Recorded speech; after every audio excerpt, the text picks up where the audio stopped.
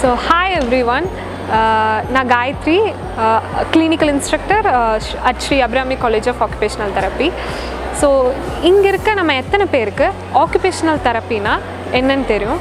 So அப்படியே occupational therapy பற்றி தெரிஞ்சிருந்தாலும் உண்மையாகவே நம்ம ஆக்குபேஷனல் தெரப்பிஸ்டோட ரோல் அப்படின்னா என்னங்கிறது வந்து நிறைய பேருக்கு தெரிஞ்சிருக்கிறது கொஞ்சம் டவுட் தான்.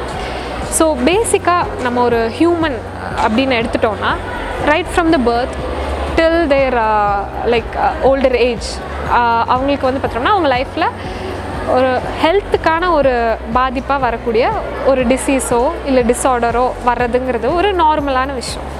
ஸோ அப்படி வரக்கூடிய ஒரு டிசீஸ் அதாவது ஒரு நோயினால் அவங்களுக்கு உடல் அளவிலையோ மனதளவிலையோ இல்லை மற்ற எந்த ஒரு ஆஸ்பெக்ட்லேயும் வந்து நிறைய பாதிப்புகள் ஏற்படும். ஸோ அந்த பாதிப்புகள் வந்து அவங்களுக்கு ஒரு குறைபாடாகவோ இல்லை ஒரு இயலாமை அதாவது ஒரு இம்பேர்மெண்ட் ஆர் டிசபிலிட்டி அப்படிங்கிற ஒரு நிலைக்கு அவங்க தள்ளப்படுவாங்க. அப்படி எந்த ஒரு நோய் வந்தாலும் நம்ம என்ன பண்ணுவோம்? யூஸ்வலாக ஹாஸ்பிட்டல் போவோம்.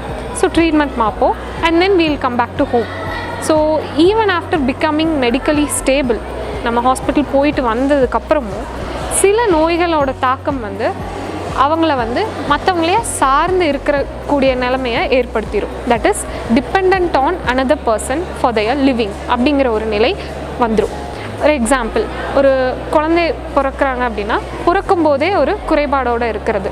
இல்லை பிறந் பிறந்ததுக்கப்புறம் அவங்க வாழ்க்கையில் நடக்கக்கூடிய ஏதோ ஒரு இதனால் அவங்க உடம்புல ஏதாவது பாதிப்பு பாதிப்பு வர்றது ஒரு குறைபாடு வர்றது அந்த மாதிரி இருக்கலாம். ஸோ அந்த நிலமையில் பார்த்திங்கன்னா நம்ம என்ன தான் நல்லா இருந்தாலும் மற்றவங்கள சார்ந்து இருக்கும்போது அவங்களுக்கு ஒரு கஷ்டம் ஏற் கஷ்டம் இருக்கும்.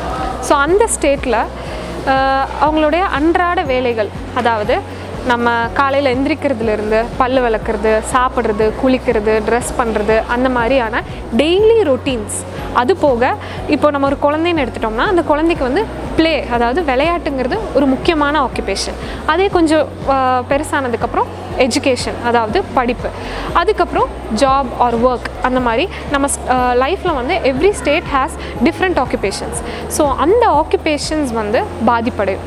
ஸோ அப்படி பாதிப்படையும் போது ஆஸ் ஆக்குபேஷனல் தெரப்பிஸ்ட் நம்ம வந்து அவங்கள எவ்வளோ இண்டிபெண்ட்டாக கொண்டு வரோம் அப்படிங்கிறது தான் நம்மளோட மேஜர் ரோல் ஸோ அப்போ வந்து அது வந்து நம்ம ஒரு சில ட்ரீட்மெண்ட் டெக்னிக்ஸ்னாலையோ அந்த பர்சனை நம்ம எப்படி இண்டிபெண்ட்டாக கொண்டு வரோம்? அதாவது அவங்களுடைய செயல்திறன்கள் அதாவது அவங்களுடைய எபிலிட்டிஸ் இருக்க எபிலிட்டிஸில் அவங்கள எவ்வளோ இண்டிபெண்ட் ஆக்குறோம் அப்படிங்கிறது வந்து நம்மளுடைய மேஜர் ரோல் அது போக அவங்க வாழ் அவங்க வாழ்கிற என்விரான்மெண்ட்டில் அது அதில் ஏதாவது ஒரு அடாப்டேஷன் பண்ணுறது மூலியமாகவும் அவங்கள வந்து நம்ம இண்டிபெண்ட்டாக கொண்டு வருவோம். ஸோ இந்த மாதிரி இருக்க சூழ்நிலையில் வந்து ஒரு ஆக்குபேஷ்னல் தெரப்பிஸ்டோட ரோல் வந்து ரொம்ப முக்கியமாக இருக்குது ஸோ இன்றைக்கி வேர்ல்டு ஆக்குபேஷ்னல் தெரப்பி டே அன்னைக்கு இந்த இன்ஃபர்மேஷன் உங்ககிட்ட ஷேர் பண்ணுறதுல I am really happy and I am really proud to be a an occupational therapist. And let us all as a society work towards promoting independence in living. Thank you